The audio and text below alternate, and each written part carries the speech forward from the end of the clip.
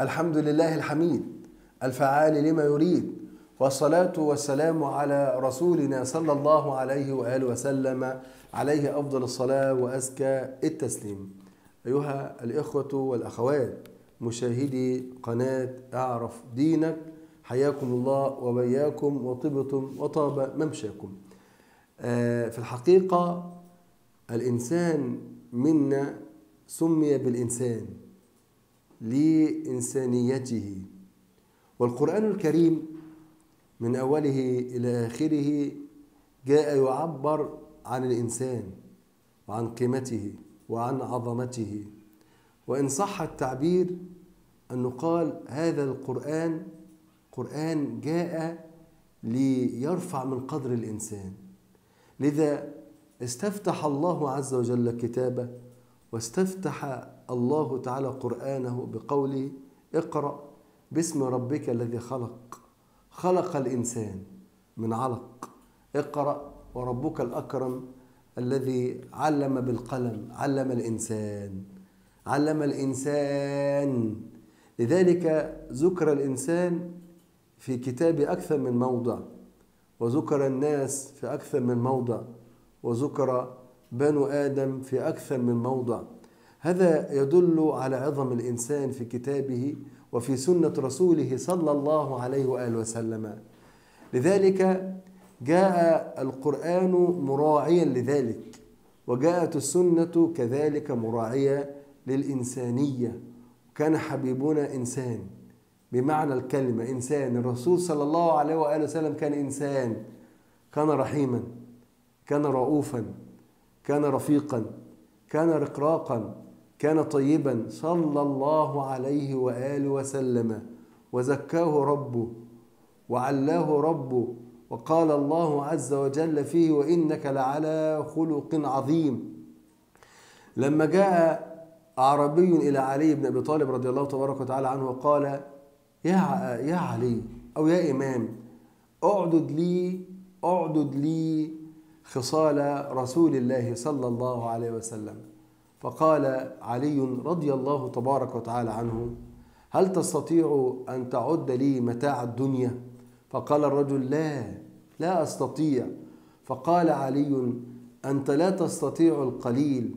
والله قال في الدنيا قل متاع الدنيا قليل وتأمرني وتدعوني أن أحصي لك وأعد لك خصال النبي وقد قال الله في نبيه وإنك لعلى خلق عظيم.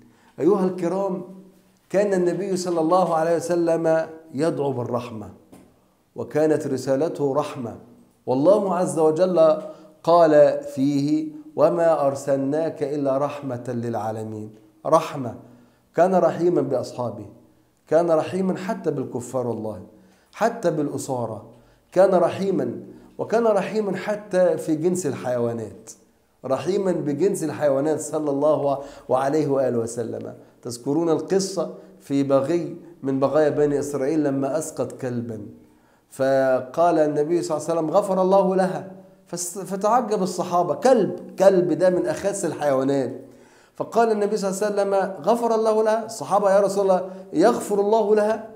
فقال الصحابة يا رسول الله ولنا في ولنا في البهائم أجرا وحلنا في البهائم أجرا. قال صلى الله عليه وسلم وفي كل كبد رطبة صدقة. في كل كبد رطبة صدقة. أين رحمتك يا أخي بإخوانك المساكين؟ أين رحمتك بأحبابك؟ أين رحمتك بالأيتام؟ أين رحمتك بالأرامل؟ أين رحمتك بالفقراء. لا نجد في نفسك رحمة. لا نجد في نفسك حتى رحمة بأولادك. لا نجد في نفسك رحمة حتى مع زوجتك. لا نجد في نفسك رحمة حتى مع أمك ومع أبيك. وإنا لله وإنا إليه راجعون. والنبي صلى الله عليه وسلم قال الراحمون يرحمهم الرحمن. ارحموا من في الأرض يرحمكم من في السماء. لما دخل الأقرع بن حابس على رسول الله صلى الله عليه وسلم فوجد النبي يقبل الحسن والحسين.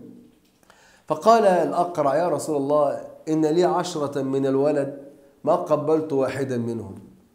ما قبلت واحدا منهم. فقال صلى الله عليه وسلم إني أرى أن الله نزع من قلبك الرحمة. نزع من قلبك الرحمة. لا يقبل. لا يقبل. شوف النبي صلى الله عليه وسلم كان بيخطب وخطبه نيرة عظيمة. فوجد الحسن والحسين يأتيان فيعصران في قميصهما. فنزل نبينا صلى الله عليه وسلم وقطع خطبته ونزل من على المنبر وحملهما. صلى الله عليه وآله وسلم وقال صدق الله. إنما أموالكم وأولادكم فتنة. فتنة. الأولاد والأموال فتنة. فاحذروهم كما حذرنا الله عز وجل. لذا قال النبي صلى الله عليه وسلم لما خلق الله الرحمة كتب في كتابه فهو عنده فوق عرشي إن رحمتي تغلب غضبي. اللهم لك الحمد. إن رحمتي تغلب غضبي. وقال النبي صلى الله عليه وسلم جعل الله الرحمة مئة جزء. فأمسك عنده تسعة وتسعين وأنزل في الأرض جزءا واحدا. فمن ذلك الجزء تتراحم الخلائق. حتى ترفع الدبة. حتى ترفع الدبة حافرها عن ولدها خشية أن تصيبه. رحمة. ارحم. ارحم زوجتك. ارحم أولادك. ارحم جيرانك. ارحم إخوانك. والجزاء من جنس العمل. لما ترحم سترحم لكن من الناس لا يستحق أن يرحم. لا يستحق أن يرحم لغشه للناس لنصبه للناس لأكل أموال الناس بالباطل. كم رأينا من نصابين كم رأينا من آكلي أموال الناس بالباطل. هذا نزع الله عز وجل من قلبه الرحمة. فرزقنا الله وإياكم الرحمة. وجزاكم الله كل خير والسلام عليكم ورحمة الله وبركاته. لا تنسى مشاركة الفيديو حتى يستفيد كل مسلم مع قناة إعرف دينك.